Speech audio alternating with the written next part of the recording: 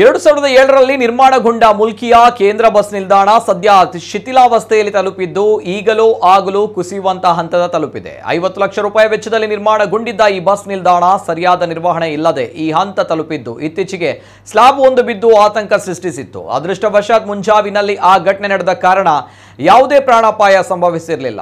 Slab ಕುಸಿತದ ಬಳಿಕ ಮುಲ್ಕಿ ಪಂಚಾಯತ್ ಅಲ್ಪ ಸ್ವಲ್ಪ ದುರಸ್ತಿ ತಪ್ಪು ಮಾಡಿತ್ತಾದ್ರೂ ಕೂಡ ಅದು ಸುರಕ್ಷಿತವಾಗಿಲ್ಲ.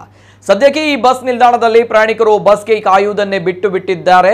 ಬಸ್ ನಿಲ್ದಾಣ ಈಗ ಅಬ್ಬೆಪಾರಿಗಳ ಅಡ್ಡಿಯಾಗಿ ಬದಲಾಗಿದೆ. ಕೆಲವರು ಇದನ್ನೇ ಆಶ್ರಯ ತಾಣವನ್ನಾಗಿ ಮಾಡಿಕೊಂಡಿದ್ದು ಇಲ್ಲೇ ರಾತ್ರಿ ಕಳೀತಾ ಇದ್ದಾರೆ.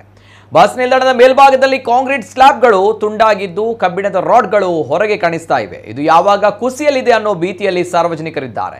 ಹೀಗಾಗಿ ಇಲ್ಲಿ ರಾತ್ರಿ ತಂಗುವ ಜನರ ಸುರಕ್ಷತೆಯ ಕಾರಣದಿಂದ ಅವರನ್ನ ಅಲ್ಲಿಂದ ಎಬ್ಬಿಸಬೇಕು ಹಾಗೂ ಬಸ್ ನಿಲ್ದಾಣದ ದುರಸ್ತಿಯನ್ನ ತಕ್ಷಣ ಮಾಡಬೇಕು ಎಂದು ಸ್ಥಳೀಯರು ಆಗ್ರಹಿಸಿದ್ದಾರೆ.